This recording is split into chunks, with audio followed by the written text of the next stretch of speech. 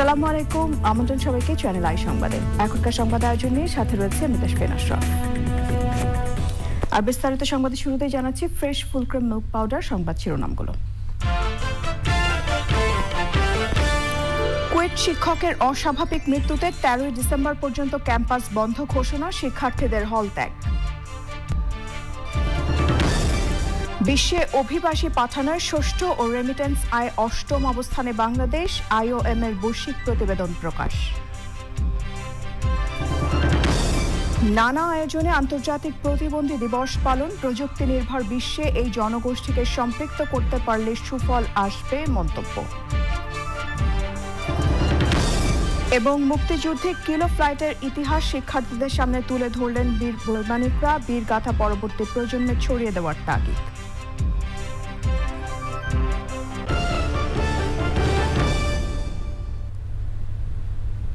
এছাড়াও নিটল টাটা বিশেষ সংবাদে থাকছে।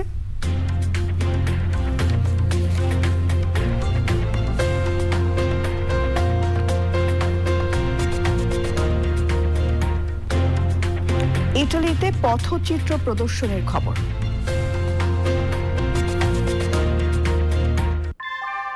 কুয়াশায় সাল চুইয়ে পানি আর কত হয়রানি। আছে সমাধান। বসত ঘরে লাগাও আনো আসি সংবাদ শিরোনামগুলো জানাচ্ছিলাম। এখনকার এই সংবাদ আয়োজন একই সঙ্গে, চ্যানেল আই অনলাইনে লাইভ টিভি এবং চ্যানেল আই অনলাইনে ভেরিফাইড ফেসবুক পেজেও সরাসরি প্রচার হচ্ছে। খুলনা প্রকৌশল এবং প্রযুক্তি বিশ্ববিদ্যালয়ের ইলেকট্রিক্যাল অ্যান্ড ইলেকট্রনিক্স ইঞ্জিনিয়ারিং বিভাগের অধ্যাপক ডক্টর মোহাম্মদ সেলিম হোসেনের অস্বাভাবিক মৃত্যুতে তেরো ডিসেম্বর পর্যন্ত ক্যাম্পাস বন্ধ ঘোষণা করেছে কর্তৃপক্ষ। বিশ্ববিদ্যালয়ের সিন্ডিকেটের এক সভায় শিক্ষার্থীদের বিকেল চারটার মধ্যে হল ত্যাগের নির্দেশ দেওয়া হলে হল ছাড়েন তারা। কুয়েটের রেজিস্ট্রার প্রকৌশলী মোহাম্মদ আনিসুর রহমান ভূয়া স্বাক্ষরিত এক বিজ্ঞপ্তিতে এই তথ্য নিশ্চিত করা হয়েছে।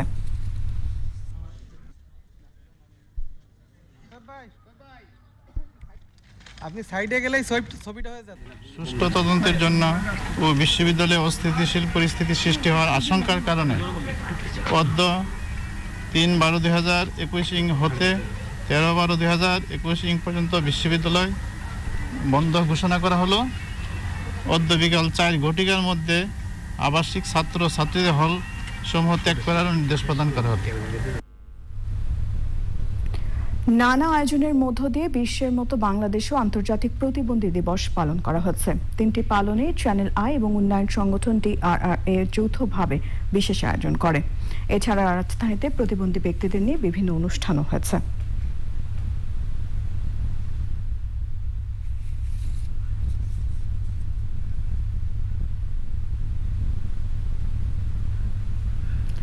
এবারে সুবর্ণ বিজয়ের খবর।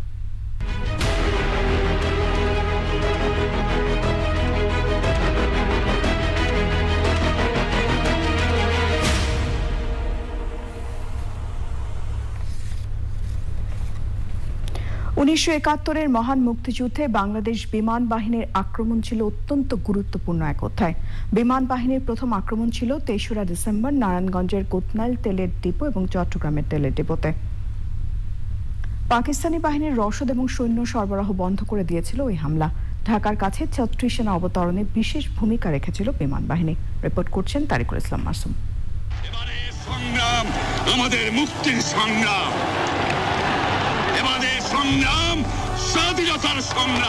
একাত্তরের ছাব্বিশে মার্চ, গ্রেপ্তারের আগে স্বাধীনতার ঘোষণা দেন জাতির পিতা বঙ্গবন্ধু শেখ মুজিবুর রহমান। শুরু হয় মুক্তিযুদ্ধ।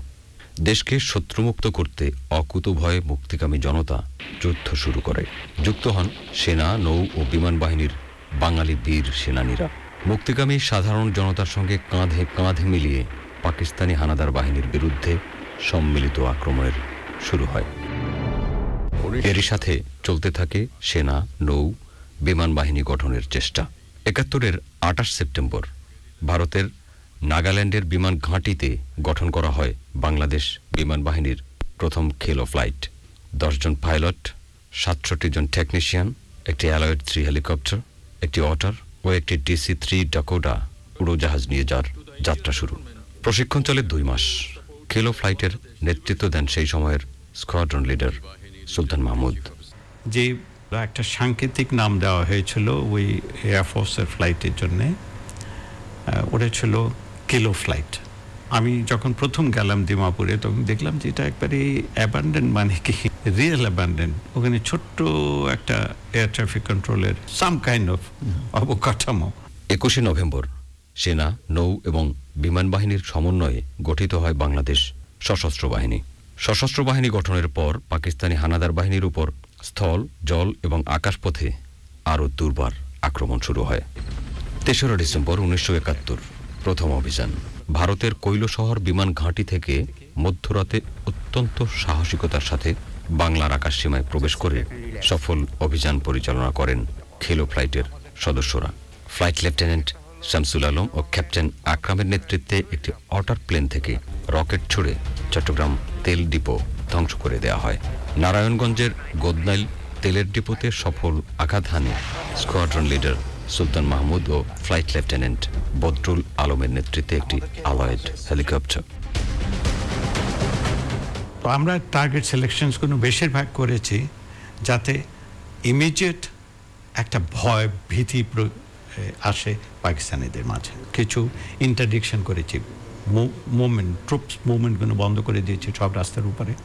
ফেরিগুলোকে আমরা ধ্বংস করেছি। রায়পুরের কাছে একটা ফেরির উপরে তো আমি নিজেই ছিলাম ওটার উপরে। আশ্চর্য হয়ে গেছে, ওটা নর্মাল ট্রাক ছিল।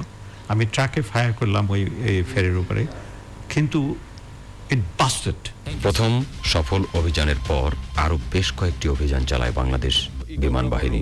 এসব অভিযানের ফলে বাংলাদেশ ভূখণ্ডে উড্ডয়ন ক্ষমতা হারাতে থাকে পাকিস্তানি বাহিনী।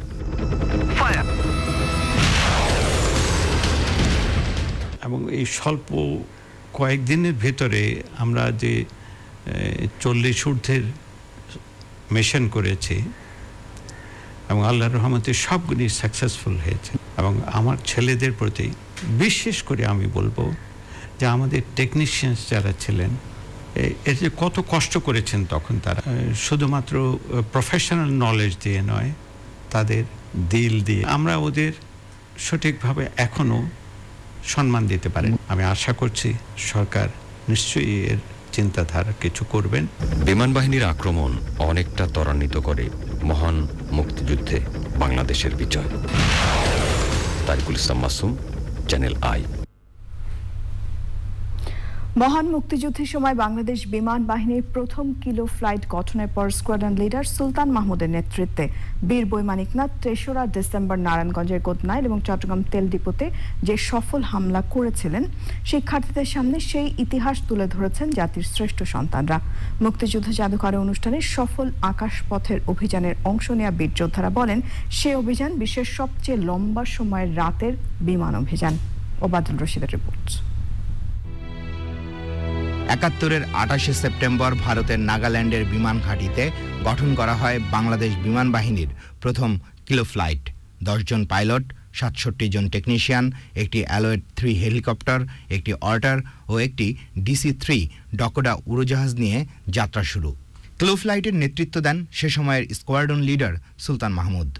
তেসরা ডিসেম্বর উনিশশো একাত্তরে প্রথম অভিযান।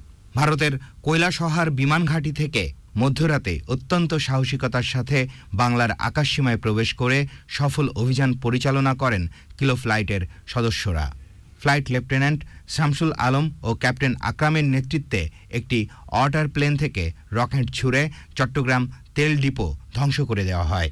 নারায়ণগঞ্জের গোদনাইল তেলের ডিপোতে সফল আঘাত হানে স্কোয়াড্রন লিডার সুলতান মাহমুদ ও ফ্লাইট লেফটেন্যান্ট বদরুল আলমের নেতৃত্বে একটি অ্যালোয়েড হেলিকপ্টার।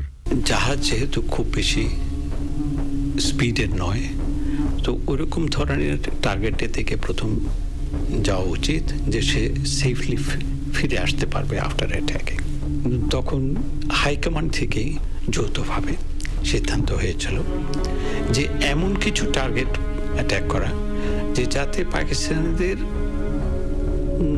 নার্ভটা একবার শেক করে ওঠে। ড্যামরার কাছে তখন ওরা ওই ইলেকট্রিক্যাল লাইন এবং ব্রিজ বানাচ্ছিল। আল্লাহর কি রহমত, আমি এত লো ফ্লাই করছিলাম নদীর উপরে যে ওই তারের নিচে দিয়ে চলে গেছে। তো আমার কপালে একটু উপরের দিকে তাকে ওই স্যার পর্যন্ত বলে আর বলা না। উন্নত প্রযুক্তি নয় বরং দেশপ্রেম আর সাহসের শক্তিতে পাকিস্তানি হানাদার বাহিনীকে পর্যুদুস্ত করা, বীর বৈমানিকদের সাফল্য গাথা, নতুন প্রজন্মের মধ্যে ছড়িয়ে দিতে মুক্তিযুদ্ধ জাদুঘর এ আয়োজন করে। আশ্চর্য লাগে এইটা এটি আমাদের কাছে যে এই বেসামরিক বিমানগুলোকে সামরিক বিমানে পরিণত করে সেখান দিয়ে বোমাবর্ষণ করে। আমাদের ভুলে গেলে চলবে না যে আমাদের পিতা বঙ্গবন্ধু কিন্তু অনেক দূরদৃষ্টিতা দেখিয়েছিলেন এবং উনি আমাদেরকে বাঙালিকে তৈরি করেছিলেন এই যুদ্ধের জন্য। বীর বৈমানিকরা তাদের দেশপ্রেমের ইতিহাস জানান নতুন প্রজন্মকে। আমরা পোল করলাম তখন আমি দেখলাম ঠিক হলিউডের মুভি বিউটিফুল ব্যাং শব্দ করে একটা বিরাট আগুনের ফুলকি দিয়ে ট্যাঙ্গুনি জ্বলতেছে। বিশ্বের সবচেয়ে longest operational night mission in the world we did it যে অ্যালয়েড হেলিকপ্টার দিয়ে স্কোয়াড্রন লিডার সুলতান মাহমুদ ও ফ্লাইট লেফটেন্যান্ট বদরুল আলম সফল অভিযান করেছিলেন সেই হেলিকপ্টার নতুন প্রজন্মের শিক্ষার্থীদের ঘুরে দেখান কিলো ফ্লাইটের সদস্যরা। Obaidul Rashid channel I Dhaka. এবারে অন্যান্য সংবাদ। বিশ্বে অভিবাসী পাঠানোয় বাংলাদেশের অবস্থান সুষ্ঠু বলে জানিয়েছে আন্তর্জাতিক অভিবাসন সংস্থা আইওএম। বার্ষিক প্রতিবেদনে তারা বলেছে, প্রবাসী আয় বা রেমিটেন্সে বাংলাদেশ বিশ্বে অষ্টম স্থানে রয়েছে। বিষয়টিকে ইতিবাচক হিসেবে দেখলেও বিশেষজ্ঞরা বলছেন, সরকার এই খাতের চ্যালেঞ্জগুলো দ্রুত দূর করলে বাংলাদেশের আরও অনেক দূর এগিয়ে যাওয়ার সম্ভাবনা রয়েছে।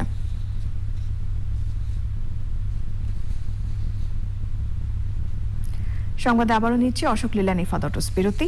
আর বিরতির পর যা থাকছে। অমিক্রণ মোকাবিলায় প্রত্যেক দেশকে প্রস্তুতি নিতে বিশ্ব স্বাস্থ্য সংস্থার পরামর্শ, ভ্রমণ আইন আরও কঠোর করতে যুক্তরাষ্ট্রের ঘোষণা।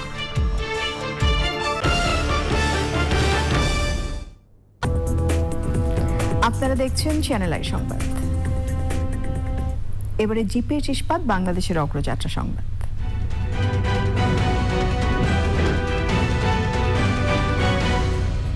নির্মাণে প্রচলিত স্টিল বেছে নেবেন নাকি বেছে নেবেন এশিয়ার প্রথম কোয়ান্টাম ইলেকট্রিক আর্ক ফার্নসে তৈরি বিশ্ব সেরা স্টিল।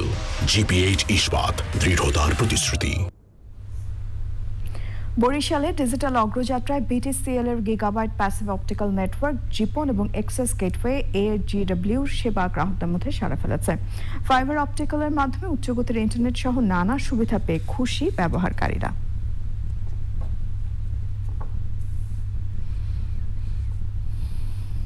এবারে সামিট আন্তর্জাতিক সংবাদ।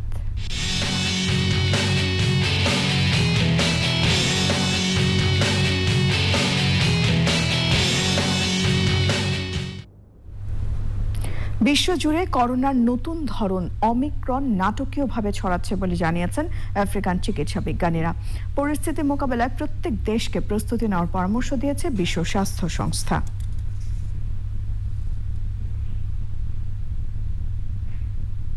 এবারে নিটল টাটা, বিশেষ সংবাদ।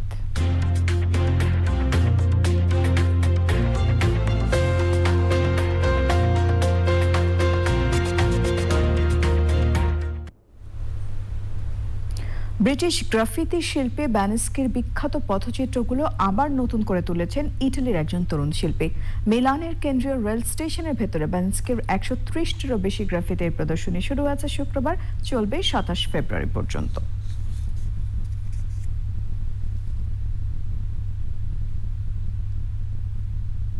এবারে কৃষি সংবাদ।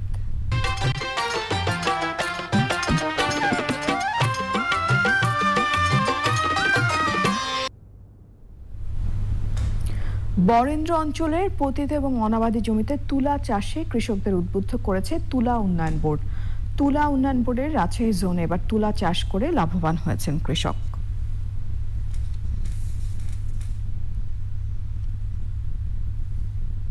এখন দেখবেন প্রকৃতি সংবাদ।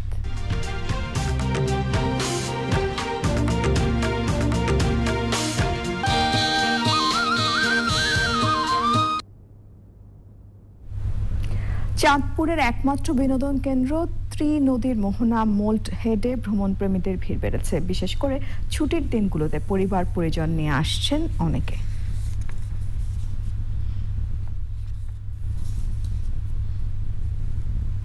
পপুলার লাইফ ইন্স্যুরেন্স বাণিজ্য সংবাদ।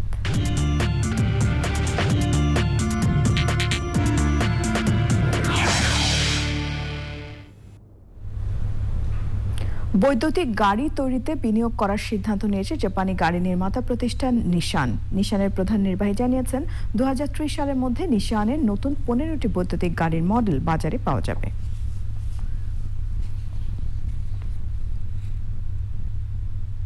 সংবাদ আবারও নিয়ে নিচ্ছে অশোক লীলা লীলানি ফাদটস বিরতি। ফিরে এসে খেলার খবরে যা থাকছে।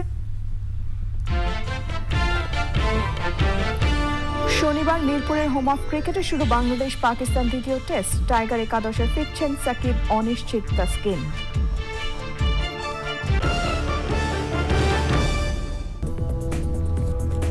ফিরে এলাম সব শেষ আয়োজনগুলো নিয়ে। দেশে করোনায় আক্রান্ত শনাক্ত কমলেও বেড়েছে শনাক্তের হার। বৃহস্পতিবার সকাল পর্যন্ত চব্বিশ ঘন্টায় তিনজন মারা গেছেন। এ নিয়ে মোট মৃত্যু সাতাশ হাজার নশো উননব্বই জন। এই সময় নতুন আক্রান্ত হয়েছেন দুশো তেতাল্লিশ জন। শনাক্তের হার বেড়ে হয়েছে এক দশমিক চার শূন্য শতাংশ। মোট আক্রান্ত পনেরো লাখ সাতাত্তর হাজার সাত জন। চব্বিশ ঘন্টায় সুস্থ হয়েছেন দুশো পঁচিশ জন। এ পর্যন্ত মোট সুস্থ হয়েছেন পনেরো লাখ একচল্লিশ হাজার আটশো ছিয়াশি জন। স্বাধীনতার সুবর্ণ জয়ন্তী উদযাপনে স্বাধীন বাংলা বেতার কেন্দ্রে বাংলাদেশ মুক্তি সংগ্রামী শিল্পী সংস্থা দলের প্রতি শ্রদ্ধা জানিয়ে চট্টগ্রামের সিআরবিতে মুক্তির মঞ্চের গানের আয়োজন করেছে রানার গ্রুপ নতুন প্রজন্মের কাছে মহান মুক্তিযুদ্ধের ইতিহাস তুলে ধরতে এই আয়োজন বলে জানিয়েছে প্রতিষ্ঠানটি। মুক্তিযুদ্ধের সময় মুক্তির গানের দল যেভাবে দুটি ট্র্যাকে ঘুরে ঘুরে গান গাইত, দেশের ছাব্বিশটি জেলায় আবার সেভাবেই মুক্তির গান পরিবেশন করছে মুক্তির মঞ্চ। অনুষ্ঠানের মিডিয়া পার্টনার চ্যানেল আই।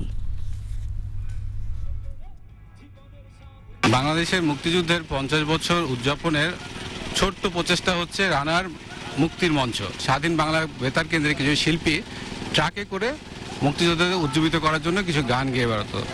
সেইটাকে নতুন প্রজন্মের কাছে তুলে ধরার জন্যই রানারের মুক্তির মঞ্চ প্রোগ্রামটা আয়োজন করা হয়েছে। এবারে বাংলাদেশ স্পেশালিস্ট হসপিটাল, খেলার খবর।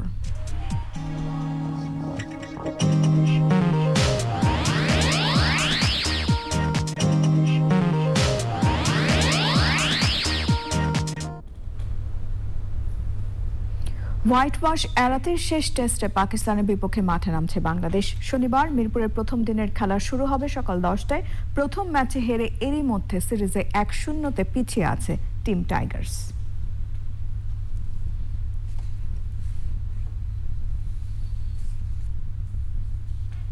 এরই সাথে সংবাদের একেবারে শেষ পর্যায়ে আমরা শেষ করবার আগে ফ্রেশ ফুলক্রিম মিল্ক পাউডার সংবাদ শিরোনামগুলো জানাচ্ছি আরও একবার। কুয়েট শিক্ষকের অস্বাভাবিক মৃত্যুতে তেরোই ডিসেম্বর পর্যন্ত ক্যাম্পাস বন্ধ ঘোষণা শিক্ষার্থীদের হল ত্যাগ বিশ্বে অভিবাসী পাঠানোর ষষ্ঠ ও রেমিটেন্স আয় অষ্টম অবস্থানে বাংলাদেশ আইওএম এর বৈশ্বিক প্রতিবেদন প্রকাশ। নানা আয়োজনে আন্তর্জাতিক প্রতিবন্ধী দিবস পালন প্রযুক্তি নির্ভর বিশ্বে এই জনগোষ্ঠীকে সম্পৃক্ত করতে পারলে সুফল আসবে মন্তব্য।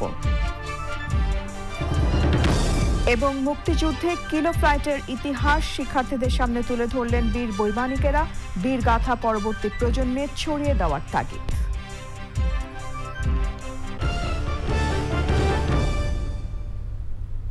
শেষ করছে এখনকার সংবাদ আয়োজন। ধন্যবাদ সবাইকে।